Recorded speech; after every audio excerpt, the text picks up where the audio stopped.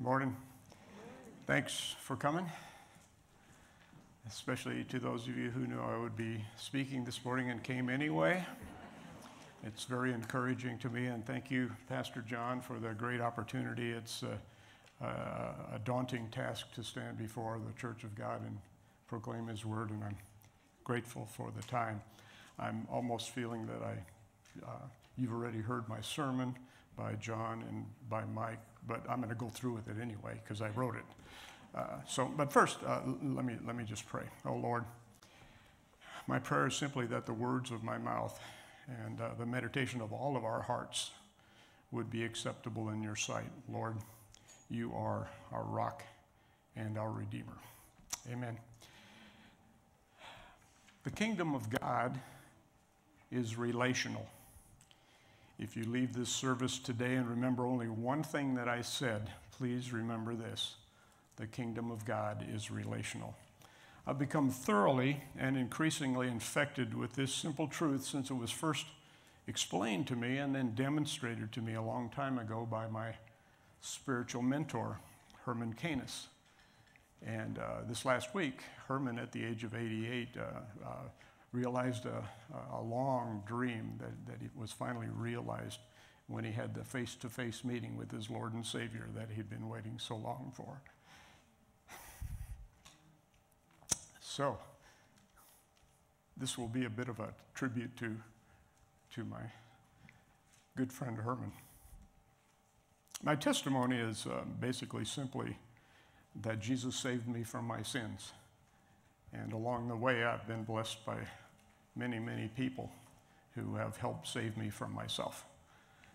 And uh, Herman is at the head of that group. But the kingdom of God is relational, and I don't believe there's a higher principle that should drive us in our Christian walk than this. The kingdom of God is relational, and behind that truth is something else we often forget, and that is that Christianity is not a religion, it's a relationship. That's what sets Christianity apart. That's what non believers just don't honestly get, and, and, and, and they can't. They think Christianity is just another religion, a belief system full of rules and regulations. But it's not that. It goes far beyond that. And to truly understand Christianity, one must realize that it is a relationship. So this morning, give you a preview snack of Romans. We'll get there in a minute. I want to explore this concept of the kingdom of God, that it is relational. But first, I think we need to define what we mean by the kingdom of God. So, just what is the kingdom of God? Or, as Matthew usually calls it, the kingdom of heaven. Well, a kingdom is a form of government. So, in the simplest of meanings, the kingdom of God is the government of God. Or uh, simply yet the way God does things. But just what is the kingdom or government of God? We should, we should probably know this because we pray for it all the time. When we pray, Thy kingdom come, what are we asking for? We pray, Our Father, who art in heaven, hallowed be your name. Thy kingdom come. What does that mean?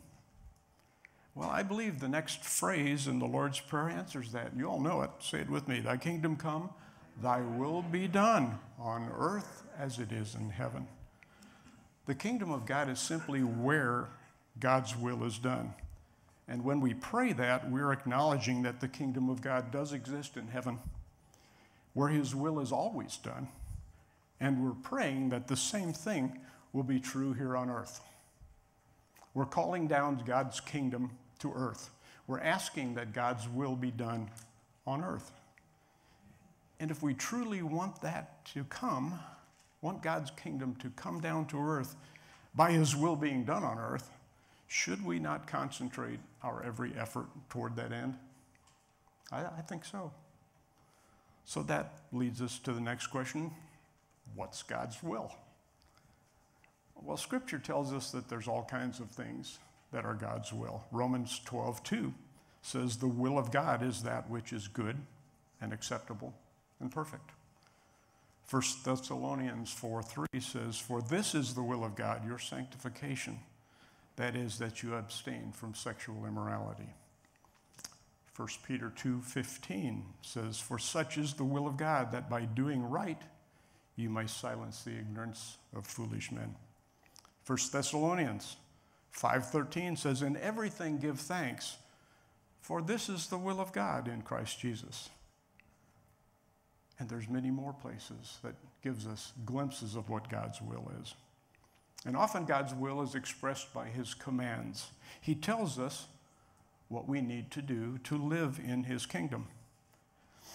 In Matthew 22, when Jesus was asked by the Pharisees, Teacher, which is the great commandment of the law? Jesus answered him by giving them the laws of relationships, two commands. And he said to him, You shall love the Lord your God with all your heart, with all your soul, and with all your mind. This is the great and foremost commandment. The second is like it you shall love your neighbor as yourself. On these two commandments depend the whole law and the prophets. Two relational commandments.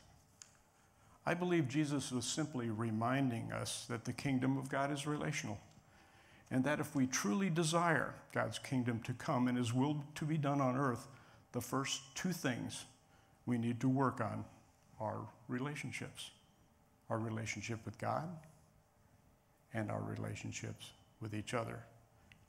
Jesus said everything hinges on these two things. Everything.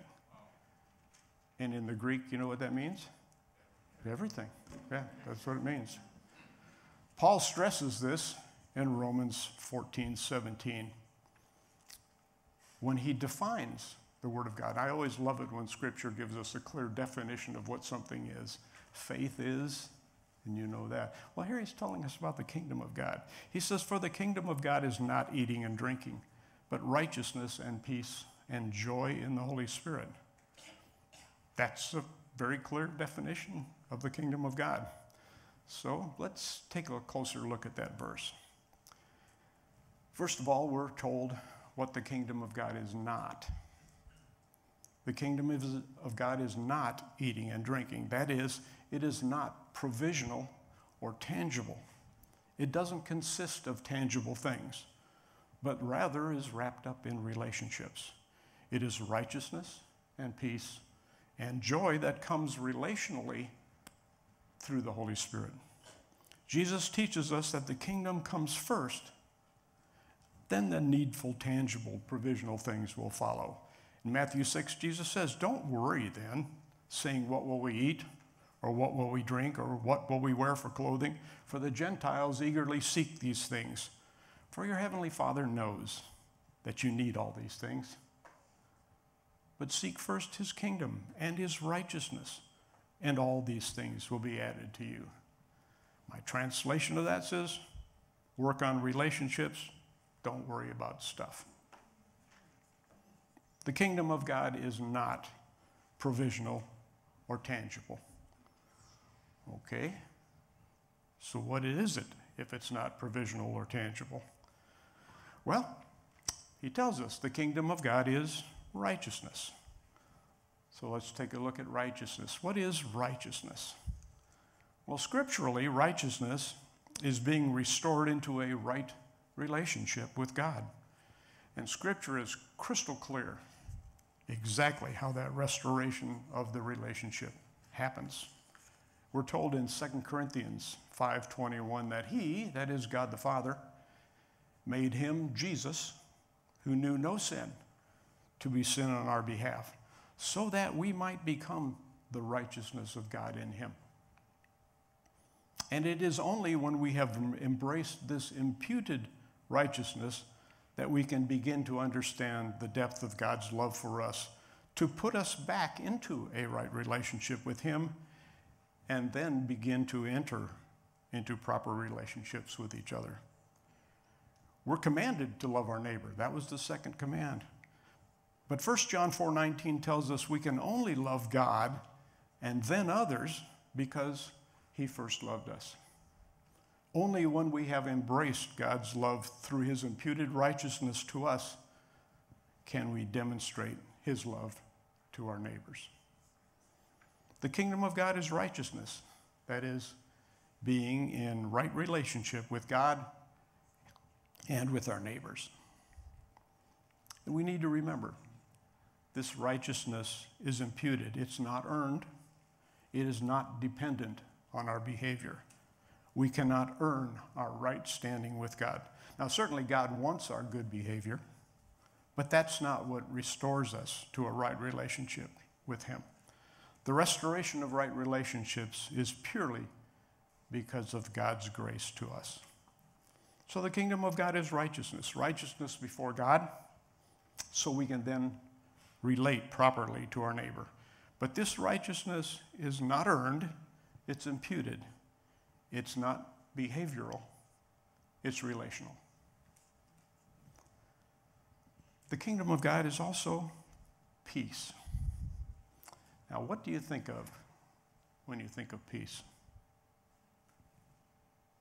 No strife, no war, no disagreement, no fighting, no persecution. Those may be what we usually think of when we think of peace. But I don't think that's what Scripture's talking about. So, what does Scripture mean by peace? I would suggest that the peace Scripture refers to is not the absence of conflict, but it is the absence of something, and it's the presence of something else. What do you think that could be?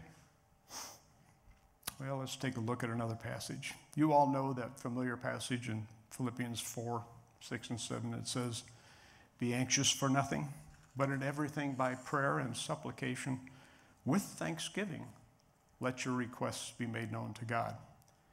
And the peace of God, which surpasses all understanding, will guard your hearts and minds in Christ Jesus. Here we see that peace is the absence of anxiety and the presence of a relationship with God. We're invited to lay down our anxieties, thank God for what He's already done for us, restoring our relationship with Him and making it possible for us to approach His throne in our time of need with His requests. And notice that this peace is not situational or circumstantial, it's relational. It makes no mention of whether we're in a time of turmoil or not. This peace has nothing to do with our present situation or circumstances.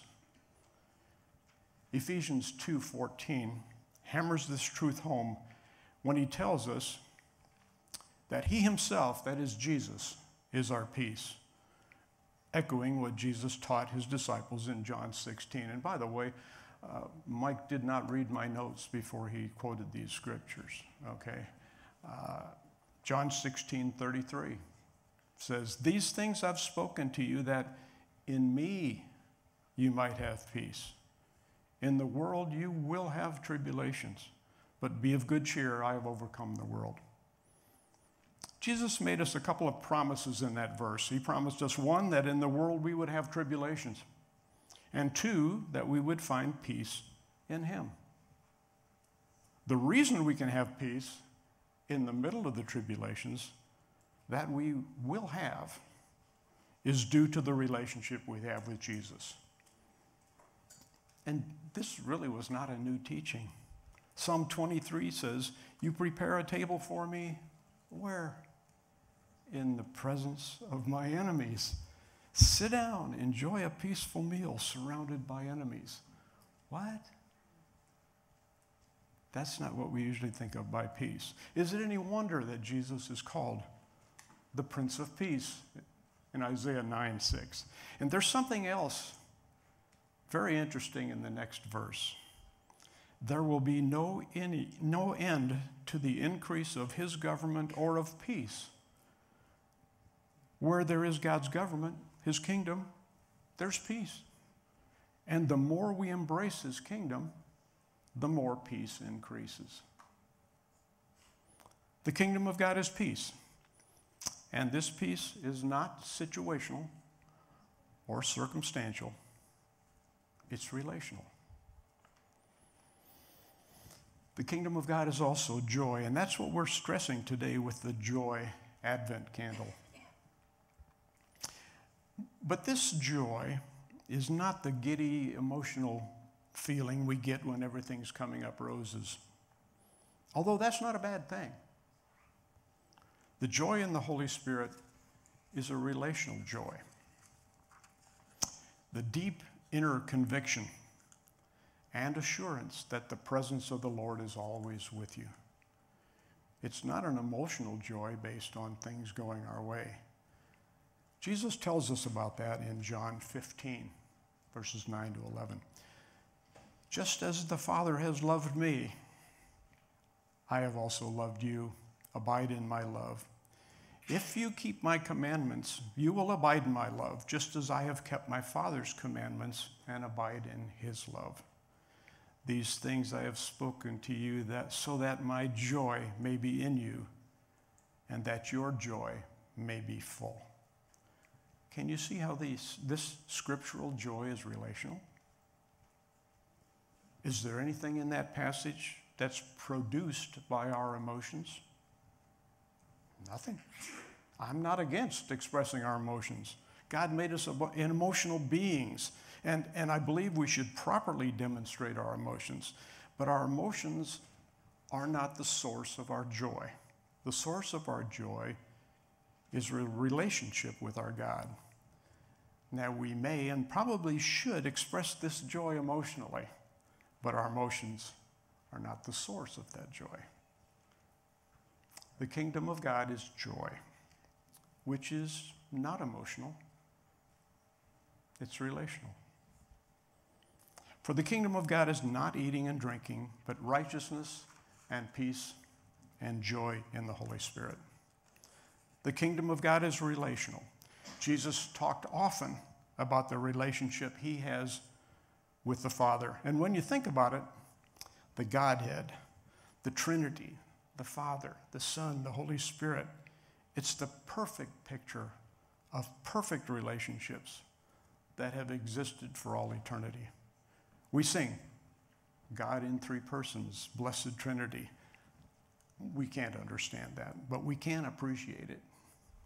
That is the ultimate example of relational perfection. And in those perfect relationships is the purest example of the kingdom of God. The relational aspect of the kingdom of God was specifically mentioned by Jesus in Luke 17 20 and 21. Now, he was questioned by the Pharisees as to when the kingdom of God was coming. And he answered them and said, The kingdom of God is not coming with signs that can be observed, nor will they say, Look over there, here it is, or there it is. For behold, the kingdom of God is in your midst. Or I love the J.B. Phillips translation the kingdom of God is inside you. Wow. They didn't understand that yet. And I don't think I would have either, because the Holy Spirit had not yet been given who would enlighten them regarding what Jesus meant. So, what will you take away today? from this brief chat about the kingdom of God. I hope you'll remember that the kingdom of God is relational. Here's how I remind myself. Whenever I start to get worried about stuff or caught up in the concerns about provisional or tangible things, I try to remember that the kingdom of God is not provisional or tangible, it is relational. And Jesus said to seek it first and the provisional, tangible things will follow. Whenever I get upset with others, I try to remind myself that the kingdom of God is righteousness. And I have been made the righteousness of God in Christ. And I try to grant the same love and acceptance to others that God has granted me. I remember how I got into a right relationship with God, and it's amazing how that affects my attitude toward others. The kingdom of God is righteousness. It is righteous relationships, first with God and then with my neighbor. The kingdom of God is righteousness, a righteousness that is not behavioral, it's relational. Whenever I get anxious about my situation or circumstances, I try to remember that the kingdom of God is peace. A peace that is not situational or circumstantial, a peace that is relational. And I try to rest in my relationship with Jesus as my peace, despite the circumstances that may be surrounding me. The kingdom of God is peace, which is neither situational nor circumstantial, it's relational. Whenever I let my emotions rule over me, I try to remember that the kingdom of God is joy and that the joy of the Lord is my strength, even when my emotions are all over the place. That joy is the assurance of the constant presence of God, no matter what an emotional mess I might be. The kingdom of God is joy, which is not emotional, it's relational. The kingdom of God is not eating or drinking, but righteousness, peace, and joy in the Holy Spirit. The kingdom of God is relational. And as I embrace this simple, profound truth, I am better able to cope with the tribulations that will come my way. And I'm better able to love God and love my neighbor. The kingdom of God is relational. Did, did I mention that the kingdom of God is relational?